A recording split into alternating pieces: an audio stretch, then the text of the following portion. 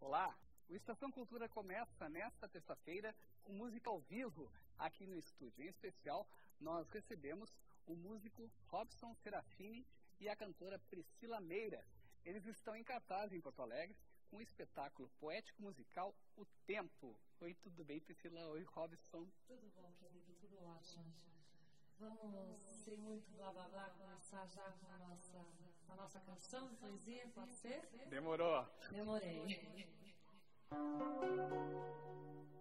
A vida passa e passa, meu medo. Vamos parar o tempo, sem medo de ficar. Ficar amando, sambando, gemendo, deixando um beijo nos faça arrepiar. E o mar de amor que transborda do teu peito aquece nosso leito, faz de mim o teu cantar. Me abraça, manso, me acolhe teu ninho. Toma todo o meu carinho, deixa o tempo enfim cansar. Tempo voraz, corta as garras do leão e faz a terra devorar sua doce glória. Arranca os dentes afiados da feroz mandíbula do tigre e queima a eterna fênix em seu sangue. Alegra e entristece as estações enquanto corres, e ao vasto mundo e seus gozos passageiros, faz aquilo que quiseres, tempo fugaz, mas proíbe de um crime ainda mais hediondo. Não marques com tuas horas a bela fronte do meu amor, nem trace ali as linhas com tua arcaica pena. Permita que ele siga teu curso imaculado, levado pela beleza que a todos sustém. Embora sejas mau, velho tempo, e apesar dos teus erros, meu amor permanecerá jovem em meus versos. A vida passa e passa, meu amigo. Vamos parar o tempo sem medo de ficar, ficar amando, sambando, gemendo, deixando que um beijo nos faça arrepiar. E um mar de amor que transborda do teu peito, aquece o nosso leito, faz de mim o teu cantar. Me abraça, abraço, me acolhe no teu ninho, toma todo o meu carinho, deixa o tempo enfim cansar, deixa o tempo enfim cansar, deixa o tempo, deixa o tempo.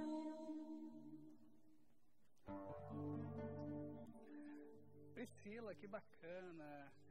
Deixa Obrigada. o tempo, uma composição sua, né? Mas aí, no meio dessa música, um soneto de William Shakespeare. Esse é o tom desse recital? Como? É esse o tom do recital? Esse é o tom do nosso espetáculo poético musical. Músicas e poesias. Nós fizemos uma, uma pesquisa, Bob e eu, muito extensa, de autores, compositores, poetas, como cada um decifrava e lidava com o tempo. Né? Cada um de nós tem, vive o tempo, imagina o tempo, usa o tempo de uma maneira diferente. Então, nós também, o nosso espetáculo é nutrido dessas vozes, dessas vozes poéticas, autorais, nossa também, sobre o tempo, um espetáculo temático. Robson, ah, que poetas e que compositores então estão nesse roteiro? É, bom, poetas eu não saberia, assim, a Pri que é mais é especialista nessa parte, né?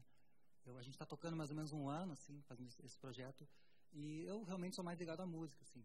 Então, o meu prazer maior mesmo foi ter, poder ter pegado as músicas que eu, que eu curto, assim, né? e ter sugerido coisas, né? E ter pensado coisas que se encaixassem nesse, nesse espetáculo. E, principalmente, não vou dizer com todas, mas algumas delas a gente conseguiu, assim, dar a nossa cara, assim, transformar, botar fazer um arranjo diferente, assim, que, que expressa, assim, é, o que a gente gostaria de, de, de passar mesmo, assim. né? Então, é, tem coisas assim, tem Edu Lobo, tem Chico Buarque, tem Nana Caymmi, Ah, só esses. A gente passeia de Renato Russo a Shakespeare, passando por Caetano, por Priscila Meira, por Robson Serafini, por Cristóvão Bastos, Aldir Blanc, é, poetas contemporâneos como a Viviane Mosé. Enfim, a gente fez realmente um. Porque poesia e música estão assim super interligados desde sempre, né? Sim. E, e além disso, a música e tanto a poesia também, na sua própria questão de, do ritmo, trata, lida com o tempo. Vocês há pouco mesmo, eh, nessa canção, fizeram uma pausa, uma pausa que parecia que aquele tempo estava suspenso, né? Exatamente. Mas, no entanto, ele prossegue. Ele prossegue, ele parece que vai parar, mas não para, e cada um de nós lida de uma maneira diferente. Mas, musicalmente, é muito interessante, foi muito interessante é, sentir como realmente cada um lida de maneiras diferentes. A Dona Irã Barbosa falaria uma coisa, Caetano outra. Priscila, e as carreiras individuais de vocês? Né? Você, além desse projeto, que está todas as terças até o final do mês ali no Meme, uh, que outros uh, eventos e que outros, uh, que outros trabalhos você tem nesse momento? É, nesse momento eu estou me dedicando, musicalmente, poeticamente, estou me dedicando a esse nosso trabalho.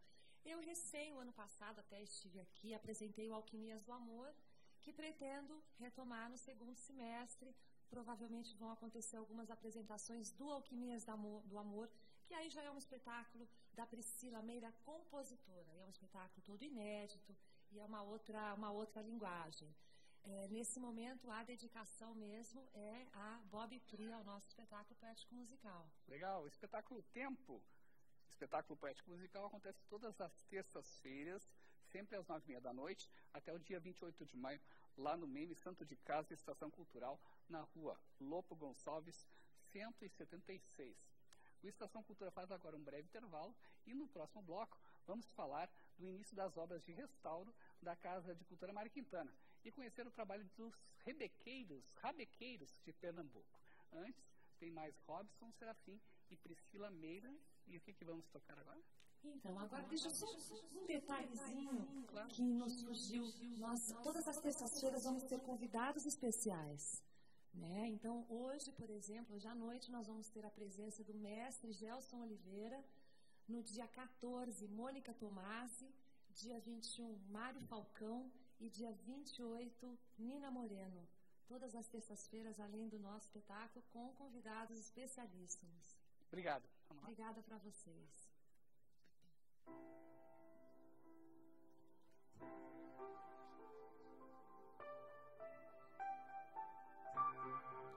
O tempo não existe, meu amor. O tempo é nada mais do que uma invenção de quem tem medo de ficar em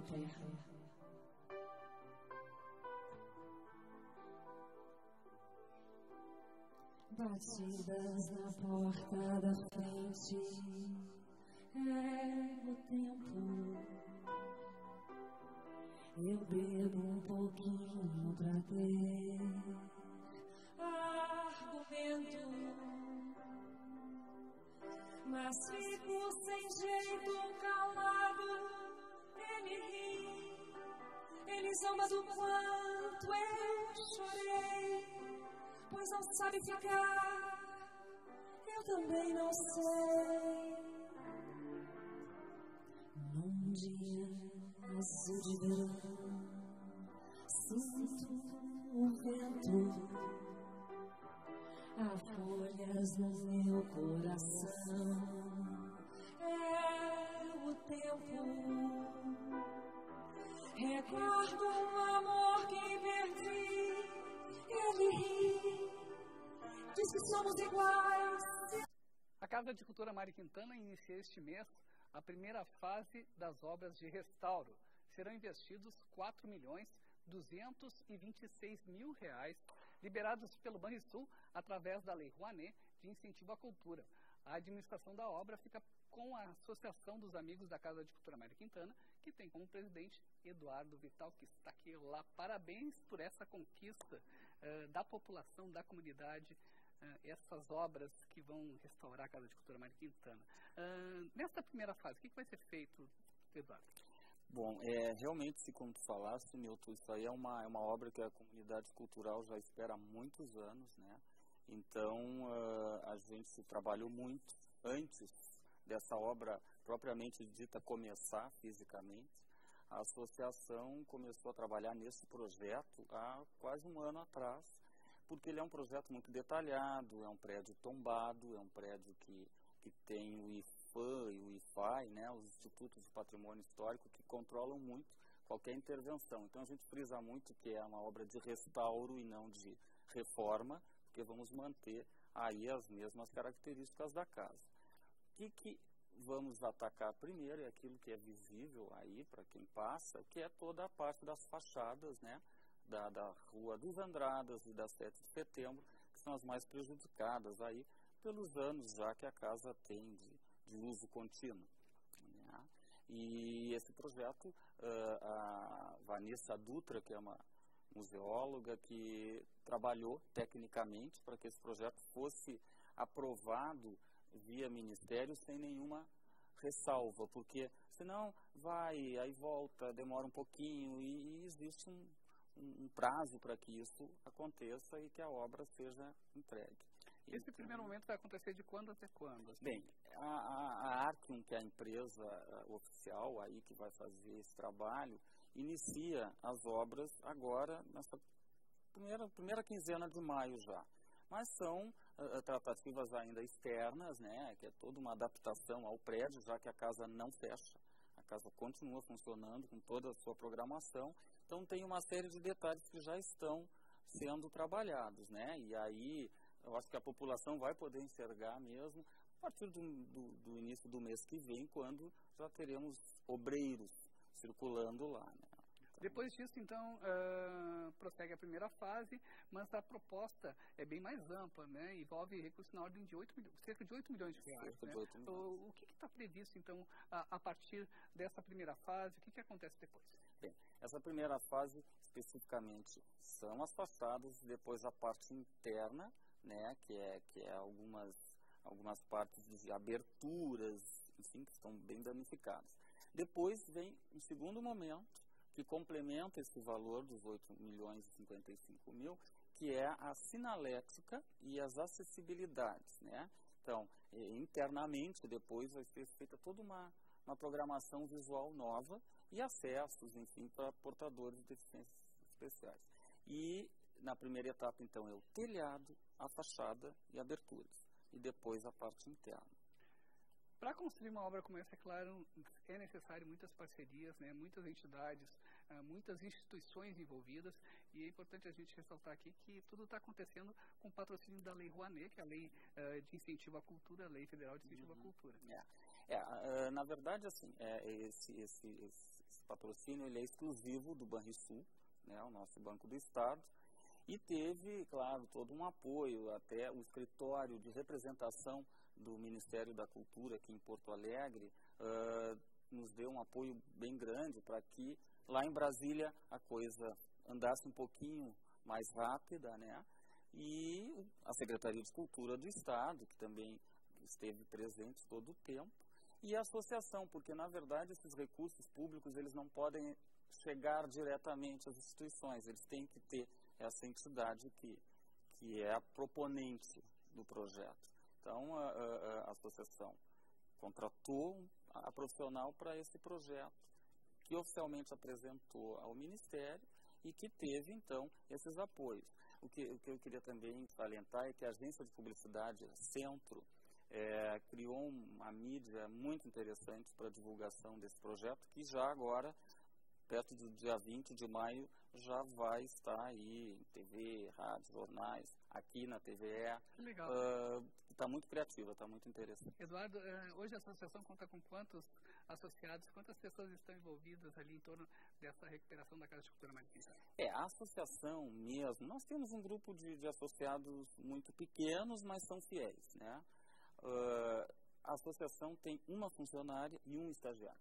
Claro que para um projeto desse, desse porte, nós chamamos pessoas para, durante esse período, nos assessorar. É um advogado, um contador, uma jornalista, um arquiteto que vai estar acompanhando a obra pela associação e vai ser o olho da associação e, e da Secretaria de Cultura e da Casa de Cultura na obra, né? Para ir acompanhando, dizer assim, essa etapa está feita, podemos partir para outra. Então, é um grupo que cresce. Muito né? trabalho pela frente, Muito né? Muito trabalho pela frente. Mas um trabalho que vai ser bem, bem feliz e que a gente pretende entregar à comunidade cultural essa casa novinha de novo. Obrigado, Eduardo. Parabéns pelo trabalho. Obrigado. E como o Eduardo falou, a Casa de Cultura Mário Quintana prossegue funcionando com diversas atrações em todas as áreas. Na quarta-feira tem mais uma edição da mostra de vídeo independente. E lá no Teatro São Pedro, a quarta-feira também vai ser musical.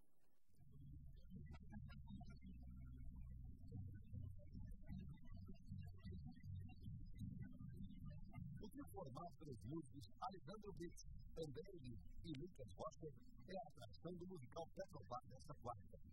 Com composições de Alejandro e outros autores, o grupo apresenta o show de Camaré, É o Vento e as Portanto, eu vou considerar que o São Pedro, ao meio-dia e trinta, e a entrada é.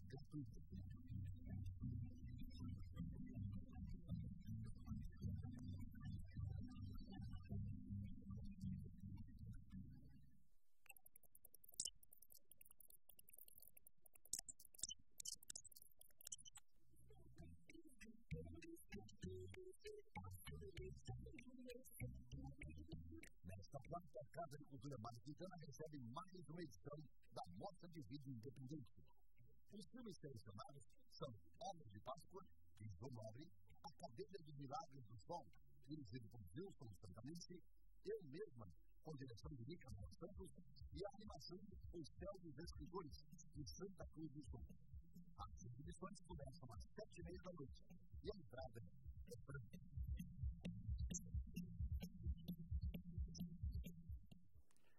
uma caravana de rabequeiros de Pernambuco esteve em Porto Alegre para mostrar a renovação de uma tradição musical.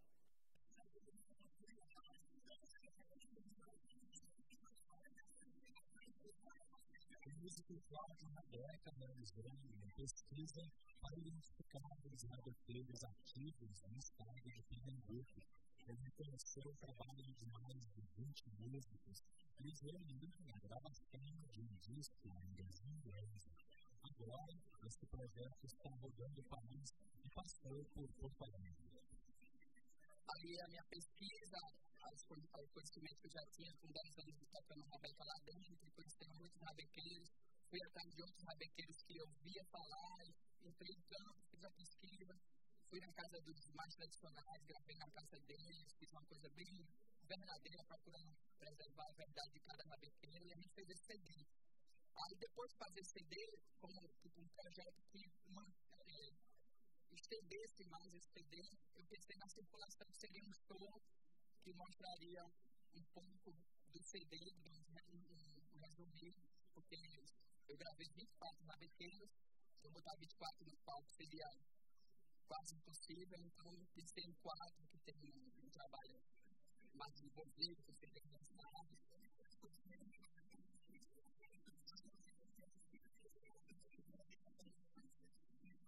A tradição de tocar na banda a nossa de pai e filho, acompanhando os períodos populares manifestações como a do cavalo marinho, que ocorrem na época do Natal. Eu aprendi como é da Eu fiz o também de tocando e eu me lembro daquele aprendizado. Então, hoje eu ajudo um pouquinho mais nada. O meu desejo para a Rebeca se deu quando eu conheci a Rebeca dentro da linguagem do cavalo marinho, que é muito rítmica, muito vigorosa, e dentro da escola de estabilização também, que é o mestre Rebeca, então passava muito tempo com ele no dia, aprendendo a tocar com ele, ele me me convidou para tocar o cavalo marinho com ele, eu vi uma biqueira de cavalo marinho, e daí, pouco a pouco, acabei começando a criar e a compor três instrumentos.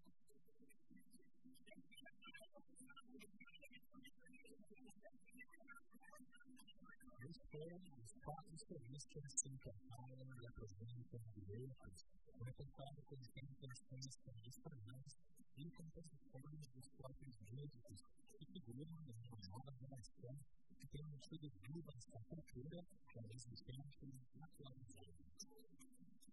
Pela Bela, você pode contar tudo com a gente. A Bela é importante, o quanto também essa fala de terra, um baixo, você chega nas lojas coisa mais casabulosa, de instrumento, você não vê uma Rabeca Pernambuco, vê violino, vê instrumento de sopro, guitarra, bateria, mas a você não vê. E graças a Deus, a Rabeca foi, se popularizou muito no estado de Pernambuco através do cavalo marinho, e graças a esses rabequinhos aprendem, a gente faz a rabequinha, são os artesãos também, que esse também, que ele também, que tem bem uma vida que tem rabeca, faz rabeca também. É uma alegria que começam mais e mais mulheres que se aventurar tanto diretamente para a América, como no caso de algumas instrumentistas de viola ou violino, que também se apaixonam pela América.